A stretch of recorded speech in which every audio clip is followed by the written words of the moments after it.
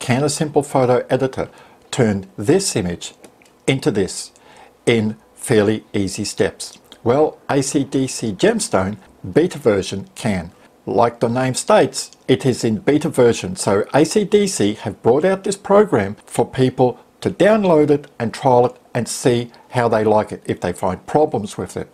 Now, I don't know if they'll make this a paid program. I'm pretty sure it will be. But if they keep this program reasonably priced, it will give Adobe Lightroom a run for its money. Trust me, I've used Adobe Lightroom since Adobe Lightroom version 3 and this program is easy to use and if reasonably priced will interest a lot of people that don't want to pay the subscription for Adobe Lightroom. So let's check it out now. This is the first screen you see when you open up ACDSee. You can see I've already brought in a few images and this is for me one of the few downsides of this program. I'm nitpicking here because all the photos that you bring in to ACDSee Gemstone are just down here. Hopefully they will have a way to remove these when you don't need them. And to bring an image into ACDSee Gemstone, all we do is we just click on File, we click Open, and we select the image that we want. Once we click Open, the simple editor opens in the background. We click on it. Sometimes it pops up, sometimes it just stays on your taskbar. This is my image now. You can see it's a raw file, fairly flat, a sunset at Lake Eden. You can see all these tabs down here on the right. So this program is very similar to Nikon NX Studio. So if you've used how to play with NX Studio, you will really like this program. I would call ACDSee Gemstone Nikon NX Studio on steroids because it can do so much more. This program, before we jump in, can also do layering and all that, but this is quite advanced. Today, we're just looking at the simple photo editor. So the first thing I like to do in an image is use geometry, which is up the top here, because geometry controls the cropping and the perspective of the image. I used a Tokina 11 to 20 mil lens on this at 11 mils, and you can see there is a lot of distortion in this image, so I want to get rid of it. So we click geometry, and there we go. We can say enable lens correction, so we click and it shows the model, but we have to click the lens.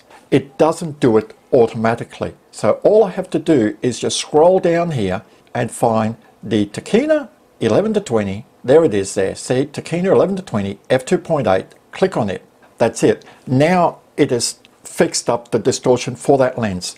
But there's still the distortion here where it's leaning in. So here we see perspective. And before we do perspective, see we have no straightening. We have straightening here. So this is where we straighten our horizon. And the horizon needs to be straightened just that little bit. That's it, just minus two. And here in perspective, we have vertical, horizontal. So if we touch the vertical here, can you see it's leaning in? This is pushing it more in. We want to bring the hotel back upright. So that's it, like that. What we do is now we have to crop because you can see we've got more, a lot of sky here, the hotel is straight. We will crop the image. We come down here to the bottom corner and we just crop it. So I'm bringing it in. It's hard to see, but see on the side here, it's all black. This is because the distortion has actually cropped the image in. So we've got like a wedge. We've got to get rid of that. So we just keep cropping until we can fit our image a little bit further in. That's enough for me. I bring it down here.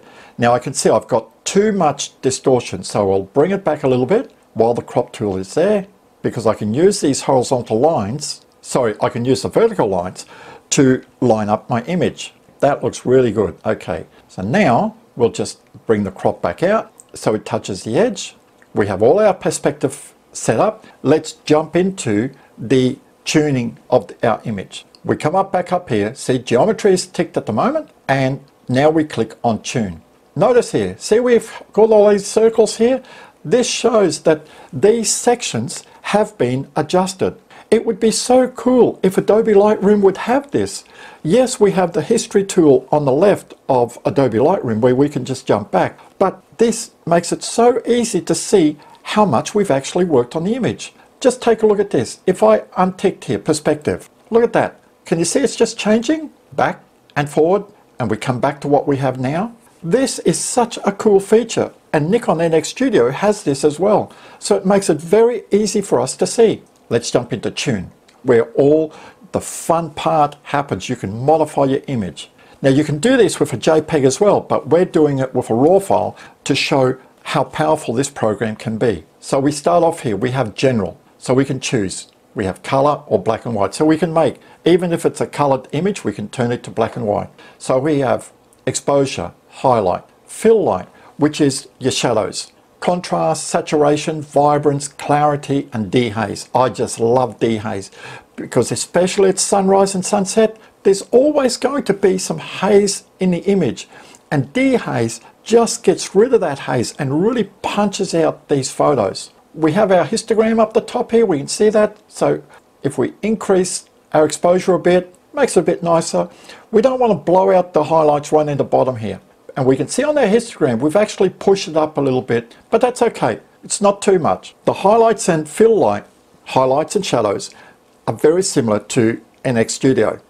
In Adobe Lightroom, they are in the center. If we slide to the left, it increases the depth of our highlights. If we slide to the right, we're decreasing the highlights. So we're making the image brighter. Here, it's set to zero. You can only decrease your highlights and in the fill light, your shadows, you can only increase your shadows. Let's use the highlights and we'll drop the highlights down a little bit.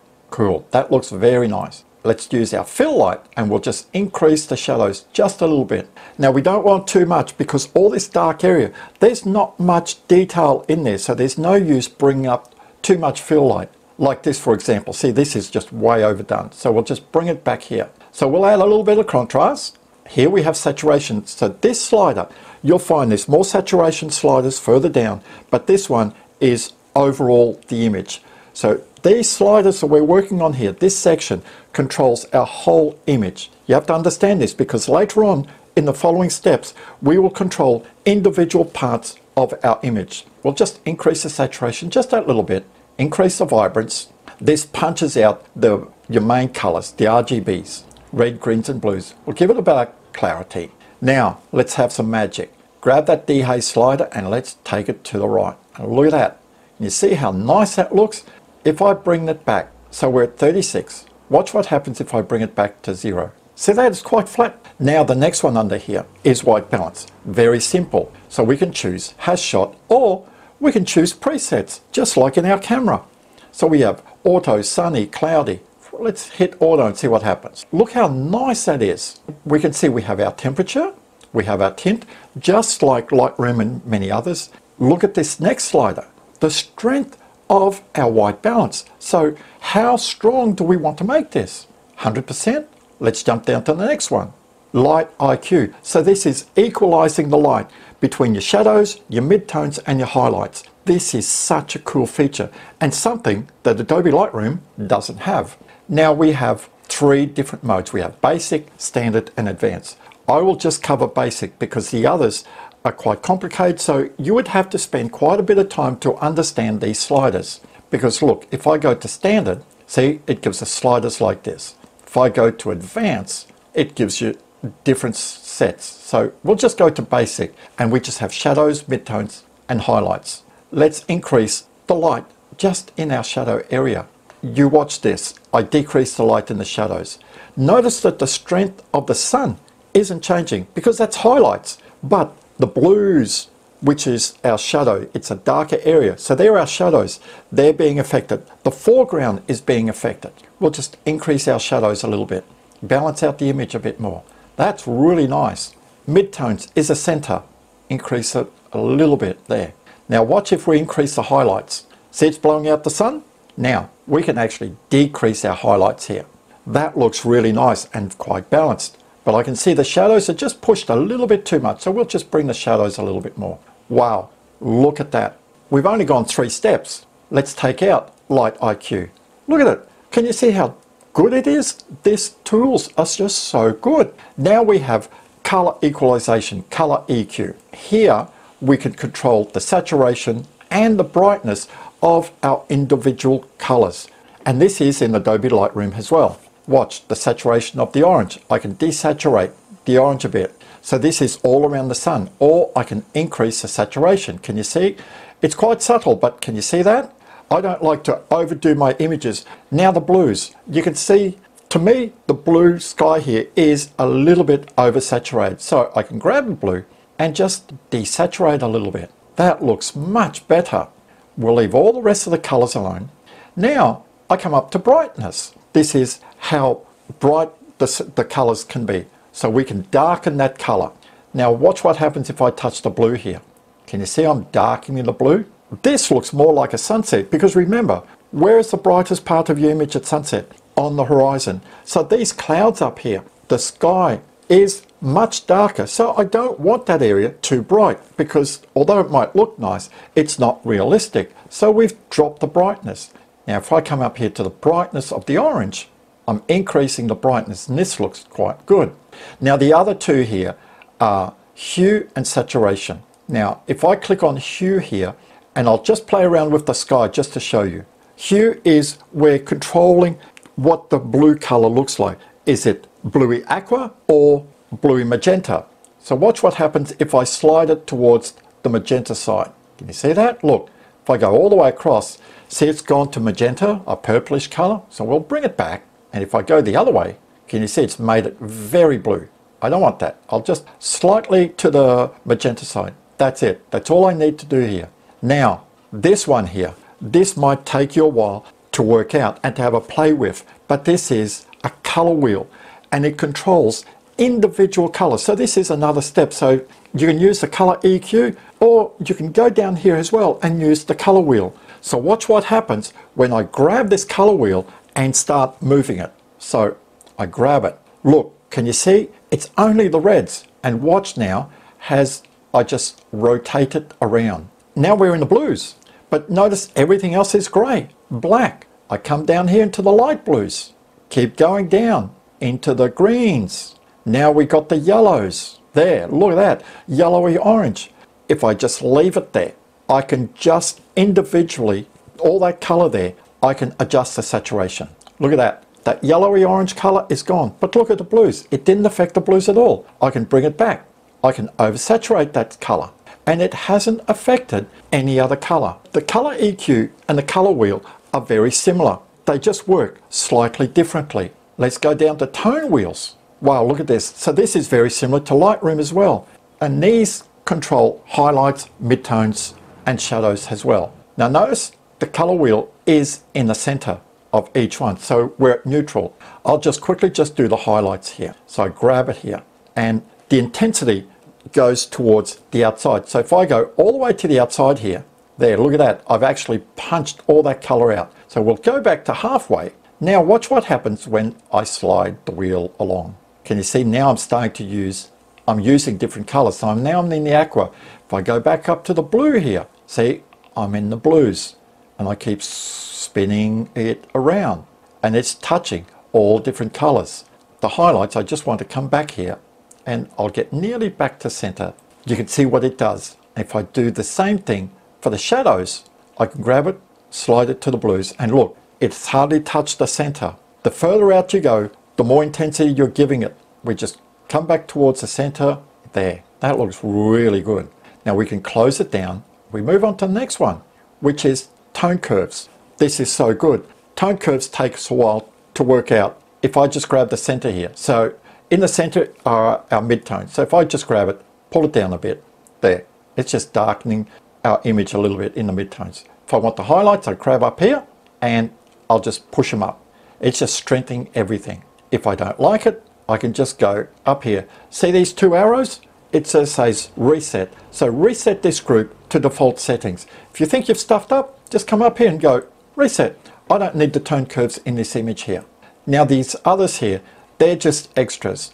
If you're doing a portrait, you could use soft focus. So it's just going to soften the image down. We can add effects. So we can add a color overlay. We can add a photo effect, sepia, somber, Ripley, whatever you want. I'll just untick that. We can change, we can use color gradients. There's so much down here. We can use split toning. We can put a vignette. The last thing that I quickly want to do here is going to the detail. We jump into detail. Here we have our sharpening and our noise reduction. Now why did I choose this last? Because this is the last thing that you normally do. If you add sharpening at the start and you're playing around with contrast, with dehaze, it's going to magnify the sharpening and your noise reduction. It's going to affect the noise reduction. So you do this last. We click on sharpening. We have amount of sharpening, the radius, the mask, the detail, and our threshold.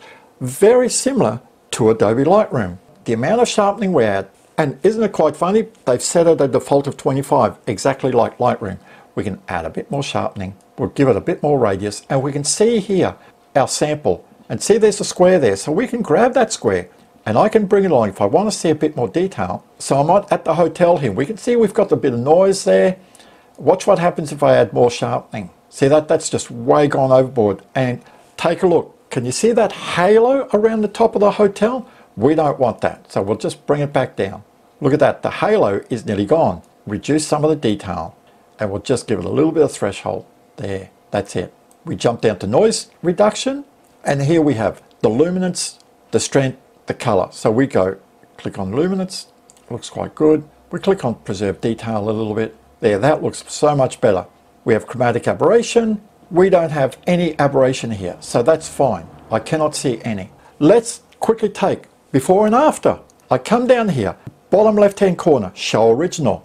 There we go. Now show original will show the image after it has the perspective control added. It won't go back all the way to the start. Because we've changed the perspective, we've cropped it in, it shows everything from that point on. It doesn't show the original file. This is before we've done any editing in the tune, the detail. It doesn't show geometry. Geometry is already locked in there. So this is before and this is after. So to download this program, just click, there's a link in the description below. You go up to the ACDSee website, you just have to write your name, your email address, and it will send you an email with the link to download this program. That's it. You don't have to register or anything like that. I certainly will be having more play with this program. If it can do, let's say 80% of what Lightroom can do, for somebody that is just a hobbyist photographer, this would definitely be a great program. This program if it retails for less than 100 US dollars, it would be a bargain. Even up to around $150, I would snap it up. If you found value in this video, give it a thumbs up. Stay safe, enjoy photography, and I'll see you next time.